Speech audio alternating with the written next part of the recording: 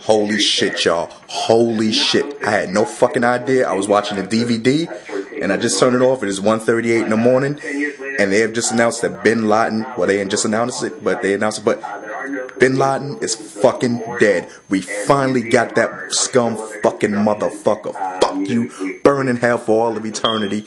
And I hope you catch the fuck on fire as soon as you get there, motherfucker. You deserve it. You deserve everything the devil is giving your ass right now. All them people, all them people that you killed, main for no reason.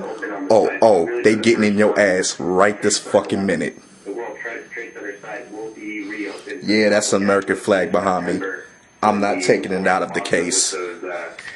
That was my first instinct to wave it around, break open that case and wave that flag around, but that is a special flag and it is not leaving that case ever.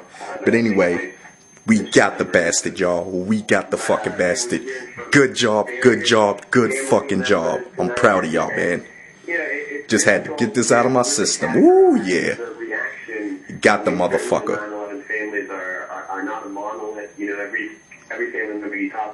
More, more in a couple of days. I'll keep y'all posted. Keep watching them. I'll keep bringing them later. Burn it fucking hell, motherfucker. No virgins for you loving.